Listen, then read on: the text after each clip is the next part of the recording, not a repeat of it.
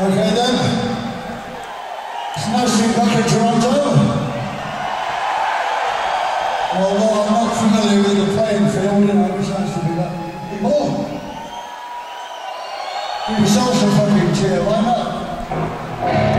This one is for two friends of mine who are no longer unfortunately with us. But it's a tribute to them. They're called Joey and Dee Dee Ramone.